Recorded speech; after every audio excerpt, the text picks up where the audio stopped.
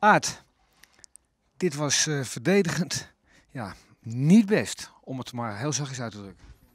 Nee, ik denk dat we onszelf uiteindelijk gewoon eh, ja, eh, voor schut hebben gezet, eerlijk gezegd. zoals En dan bedoel jij gewoon bij de goals.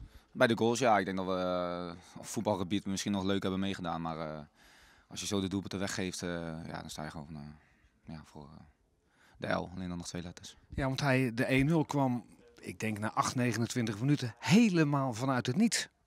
Ja, ik zag eh, dat uh, Boutigin die bal ging spelen, dus ik onderscheppen hem. Ja, ik zag wel dat hij eh, richting de goal ging. Ja, eh, in principe stonden we nog tussen de man en de, en de bal.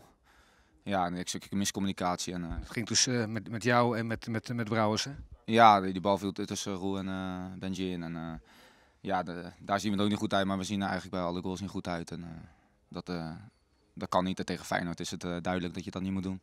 Is dat het eh, grote verschil? Jullie eh, ja, eh, vechten om, om punten bij elkaar te sprokkelen, hebben al vijf wedstrijden uit niet gescoord.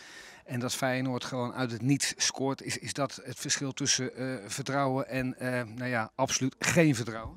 Nou ja, vanuit hun optiek is natuurlijk dat dan alles goed valt. En vanuit onze optiek moeten we kijken naar hoe we die doelpunt hebben weggegeven. En ja, of het nou geluk of pech is, ik denk dat het uiteindelijk te maken heeft dat zij dan meer kwaliteit hebben, waardoor ze ook gelijk die kansen benutten.